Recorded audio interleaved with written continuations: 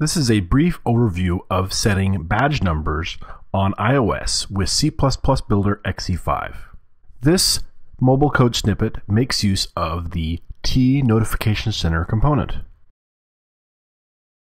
This button here sets the badge number by checking with Notification Center to see if notifications are supported. If they are, then it sets the application badge number to the value that we specified in the user interface.